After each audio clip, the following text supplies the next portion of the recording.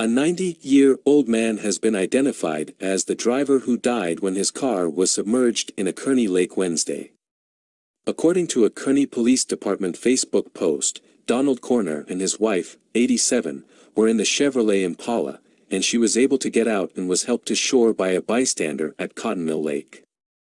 Emergency responders were called to the lake on the west edge of Kearney at 1.58 p.m. Kearney Police Department Lieutenant Jason Koetters said the man and his wife were driving at Cottonmill Park when their Chevrolet Impala went into the water on the southwest side of the lake. Four police officers went into the water to look for the man, but were unsuccessful. Members of the Kearney Volunteer Fire Department dive team arrived and located the man, who was pronounced dead at the scene. Koetters said it's unclear which direction the man was driving when he entered the lake.